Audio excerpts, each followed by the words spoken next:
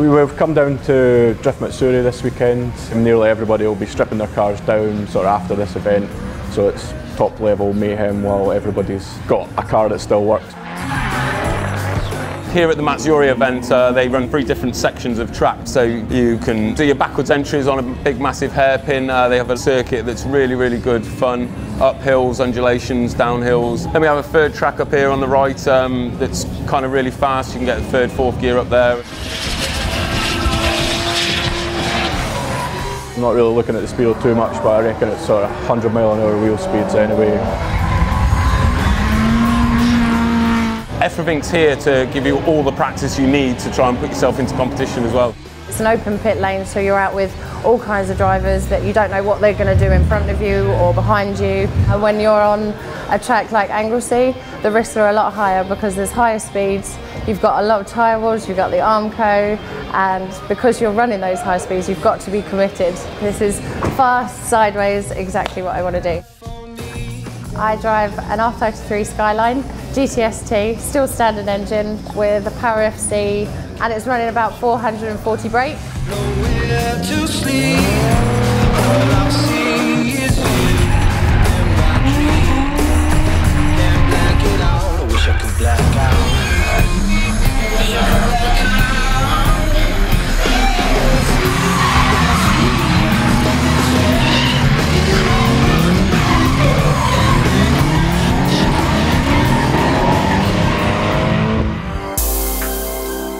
It's a BMW E34. It's got the M5 V8. He's done a loads of development on it. As I said, the full front end's all S14 converted to a steering rack away from the steering box.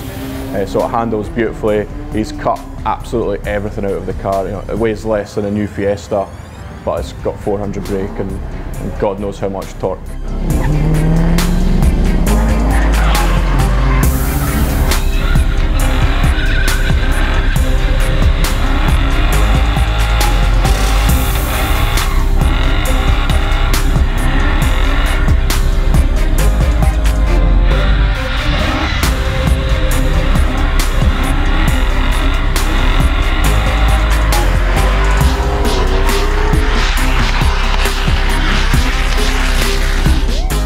Car I've actually had over 12 years now. I bought it as a nice, nice road car.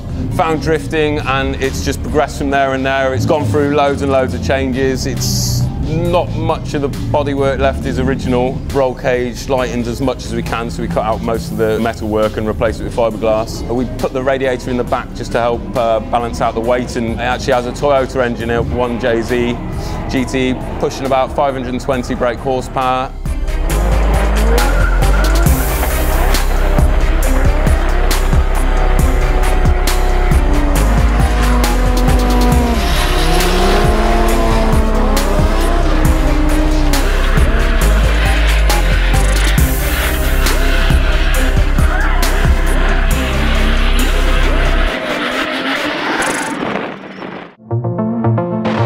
The style aspect of drifting is is super important. It's you know for me I'd say it's about 50% of of you know the the spectacle. Nobody wants to see a you know crashed up car with wings hanging off it or you know everything all broken on it. Everyone wants to see nice cars. The benefit of these events is obviously because it's open to everybody, you get such a, a, a wide variety of cars. I think it shows just how you know how far drifting has progressed in the UK. The, the spectrum of cars that we've got now. You know, there's everything from I've seen an Anglia, you know, right up to the top spec um, JDM cars. You know, 800 brake things.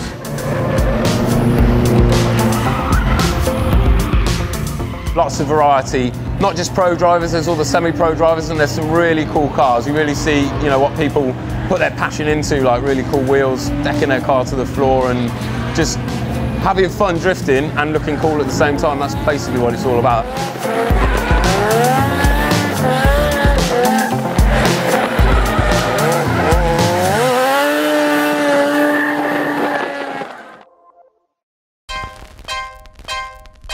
Been invited to do the, the nighttime driving. I think it's going to be absolutely terrifying, like really fast and not being able to see anything.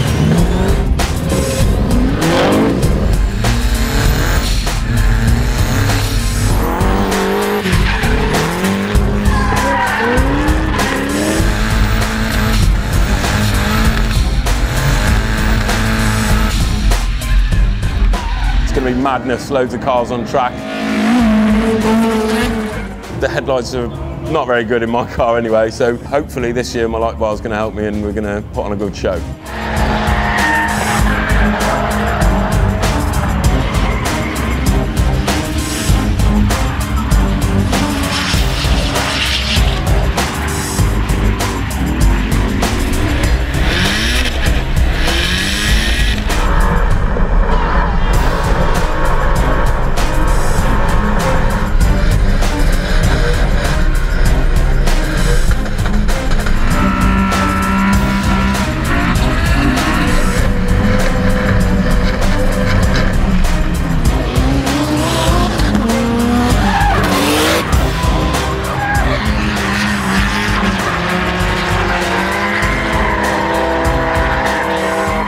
We all started drifting for was have fun and it, it's great to come to an event here and just let your hair down and just go for it, you know?